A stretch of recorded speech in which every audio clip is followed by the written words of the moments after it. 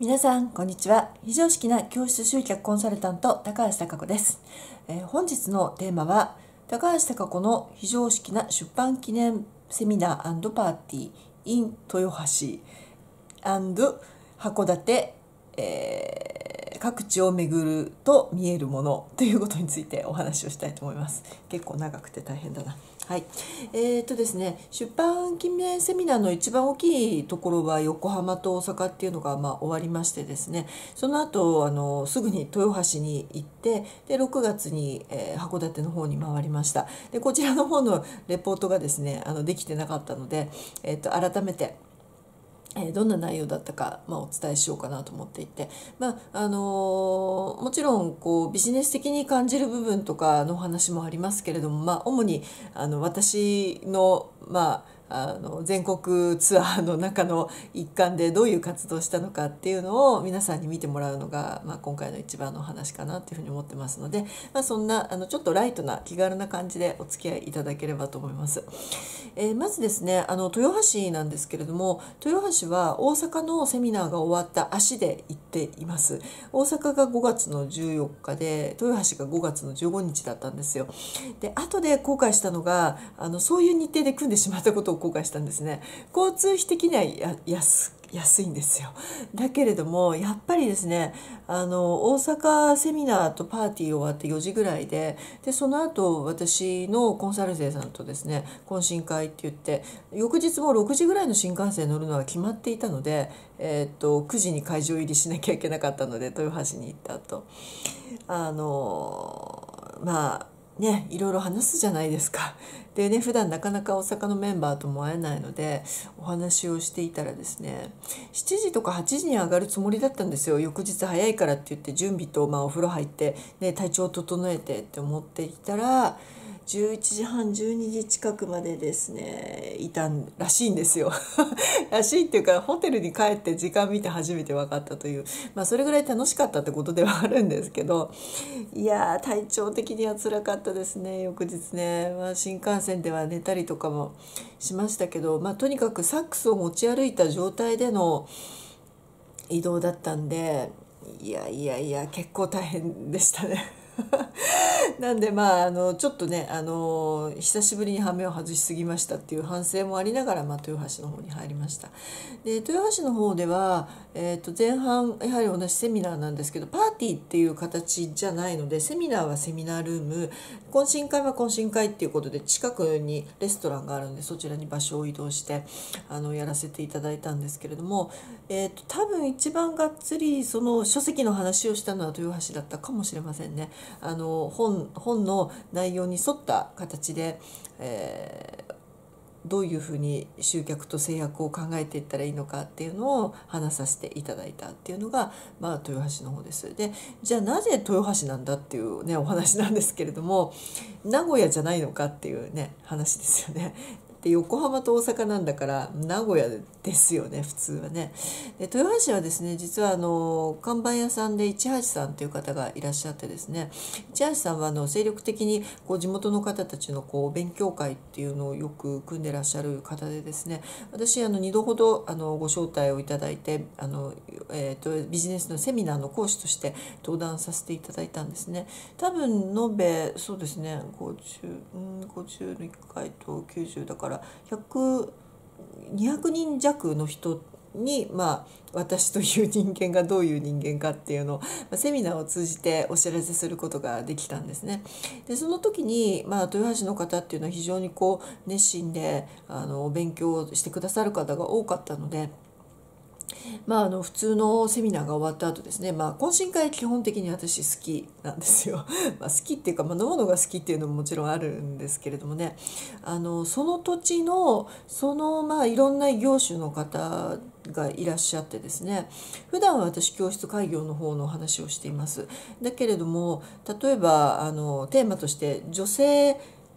向けのビジネスをやっている店舗経営者みたいなものになれば当然そういったお話の切り口でセミナーやっていきますし YouTube あの活用セミナー戦略セミナーとかそんなのをやれば YouTube の話ですし電子書籍の話をするんであれば電子書籍ということでまあセミナーテーマは私は自分の知ってる知識のセミナーテーマであれば、まあ、何でも組む依頼されてこういう内容でどうですかっていうのを言って向こうが OK って言えば何でも組むので、まあ、何通りでも組めるんですよね。100とか軽くセミナー組める感じなんですけどね。あのまあのその中のメニューでじゃあこういうのどうですかってカスタマイズしてやっていってっていうことで、まあ、豊橋では3種類ぐらいのセミナーをやったんですけどでそのあの、まあ、セミナーはセミナーでで懇親会ですよね。で懇親会の方では飲みが入りますから、まあ、熱心にこういろいろと質問されるとですね、まあ、ついついベラベラと喋ってしまう、まあ、飲んでなくても喋ってしまうんですけれどもついついいろいろとねあのせっかくなかなか会えない方たちとお会いしているのであのそのね状態とかどういうふうにしていったらって私が分かる限りの知恵と知識でお答えはしていくんですけれども。あのやはりその地域地域によってね特色とかがあの、まあ、違ったりとかするところはありますよね。なので豊橋は豊橋っていう場所においてのビジネスのやり方っていうのがやはりあってもちろん価格的なものとかその土地柄の気質とかまあそういうものもいろいろあるんですけれどもねあのまあ一般論が通じる場合と通じない場合があるので、まあ、そんなのも聞きながら現地ってそうなんだなっていうのをチューニングしながら、まあ、私も、えー、コメントもするけど皆さんの意見も聞きながらあそういうエリア地域で皆さん頑張ってるんだなっていうのを理解して他業種の方と一気に話をができるのでかなかね面白いです。で豊橋の方はすごくフレンドリーであのまた是非来てくださいって1回目終わった後言われたのでまた2回目行ってで、まあ、2回目の時に、まあ、出版記念行きたいけれどもって言って大阪と横浜でっていうことで名古屋だったら、まあ、やろうかなと思ったんだけどって言ったらちょっと名古屋に出ていくのが大変でっていう話があったんでまあじゃあ豊橋でやりますかっていうことで豊橋でやることになったっていう感じで、まあ、3回目のそういったあのビジネスで行くっていうのは、まあ、豊橋が3回目になるんですね。だからまあご縁をいただいてでそれがまあつながってっていうのは、まあ、どこの地域であってもまあ嬉しいことで日本全国あちゃこちゃ私行ってますけれども、まあ、まだ未開の地が割と東北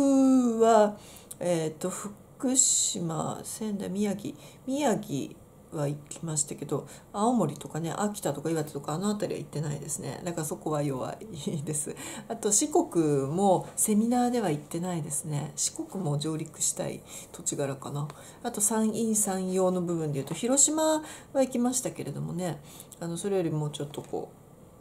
うあの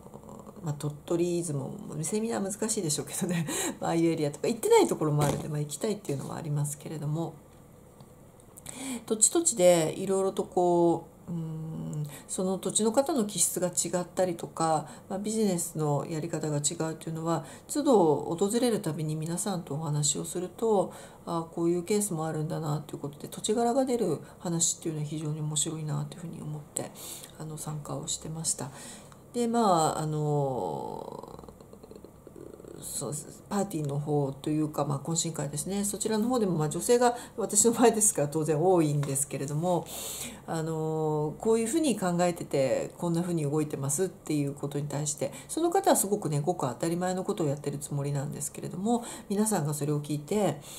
えそういうやり方なの？みたいなのを発見するみたいな。そういったところでもやはり一つのねセミナーがきっかけになっていろんな人と知り合うっていうのはすごくいいなと思っていて。なので私はエンタメライブセミナーっていう名前であの皆さんが楽しく、まあ、お勉強っていうか知識を学ぶのと同時に交流をしてもらえるようにっていうことで、まあ、大きめのものに関してはだいたいセミナーとパーティーをくっつけるような形さらにそこに最近はなんかサックス演奏とかがね入ってきちゃうような感じでやってるんですけれどもそんなのをやらせていただきました。で翌日はですねあのえー、っとまあ以前そうね1年前のそのセミナーに来てくださったあの豊橋の生態でですねナステレージさんっていうところがありまして、まあ、そちらの弟さんがですねあの兄弟でやられてるんですけど弟さんが誕生日を迎えるっていうことで友人の方からですねこう私を自由に使っていいよ権利っていうのをですね 以前引き合ってた方がいらっしゃってその誕生日にサプライズで私を連れて行きたいっていうのをね言われてなんかあのテレビ番組みたいなね感じですけどね サックス持って服着替えた状態でこう車に乗ってでこういきなりこう玄関から入ってサックスを吹きながら入るみたいなあの要は施術の予約をしてるので他のお客さんは入ってこないのでそんなサプライズを計画していたにもかかわらずあのお父さんが玄関より前にこうお迎えに出てきてしまっていて私見つかっちゃってなんかあら台無しみたいな感じだったんですけどね、まあ、それでも「ハッピーバースデーと」あとまああの好きな曲1曲っていうことで大阪でやったテキーラを整体院で吹かせていただいて、まあ、それでそこは去って。でその後まだ時間もありましたしねもう一軒近くにあの同じようにやっぱりあの来てあのくださってたさつきバランス生態っていうとこのあ小林さんっていう方いらっしゃってですねそちらの方の事務所にこちらは本当に突撃です。で行ってでちょうどお客さんがはけた後行った時にご飯えーえー、とご飯まだ食べてなかったんですけどちょっとお客様がいらっしゃったんでじゃあご飯食べてからまた来るよって言ってでその後行ってまた整体院でサックス吹いてっていう。なんかあのサックスずっと持ち歩いてたからまあやっとかなきゃそんぐらいの勢いで 吹いて吹いてっていう、まあ、そういう豊橋アンリアな旅でした、まあ、それで大阪豊橋っていうセミナーが終わって、まあ、いろんな方とご縁ができて、まあ、新幹線系の LINE でのねつながりでっていうのはあの終わらすことはできたんですけどね。まあしかし体力使いましたね。あのちょっと一日空ければよかったってそれはちょっと後悔しました。大阪と豊橋連続はきつかったなっていうのがねあの一つ私の感想です。えーと、そしてですね、あのー、もう一個が函館になるんですけれども函館の方はですね蔦屋さんで出版記念セミナーをやってみたかったっていうのがねまず私の中の企画であったんです。本屋さんでセミナーっていうのね結構憧れるじゃないですか。でやってみたくて、まあ、代官山の蔦屋さんはそういう感じではなかったので函館はなんかあの申し込みができるっていう噂を聞いていたので、まあ、申し込み用紙に書いてで、まあ、やってみて。で、まあ、あのもちろん自分でも集めるようにはあの頑張るんですけれども仮にあの集まんなかったとしてもですねまあ函館に行きたかったんですよ あの久しぶりに函館な感じだったしあとはその函館にですね私のあの友人あのビジネス仲間の友人の方マガラさんって方がですね衣装館をやっていたんです。まあ、で私のあのもちろんクライアントさんとか現地のクライアントさん札幌のクライアントさんも合流してもらう女性ですけどね。合流してもらうことになってたんでやっぱこれは一生間で着替えて遊ぶだろうっていうのを思ったのであの衣装をね借りられるってお話を伺ったのでえー、っと蔦屋さんに行く時にはですねティファニーブルーのあの姫姫っぽい衣装ですね。それを着て、えー、それであの蔦屋さんに入ってまあ目立ちますよ。だって蔦屋さんですから本屋さんですから。でもなんか私そういうのを着慣れてるせいかですねなんかこう堂々としちゃってるんですよね。だからなんか違和感がないっていうかなんかそういう催し物の人ですよねっていう体で皆さんが見てくださるのでえーっていう目では見られる。なんかむしろあのね私が堂々としてるからそれをこう恥ずかしいようにこう見る方がむしろ恥ずかしいぐらいの勢いだったんでそんなドレスを着ながらあの昼パンをかじっていたりとかしてですね。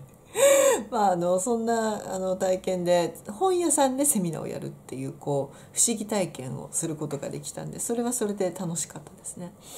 でマガラさんのところはだから私だけが初日はそれを着てで翌日みんなでまあ来て写真撮りましょうっていうことになったんであの男性も含めてですね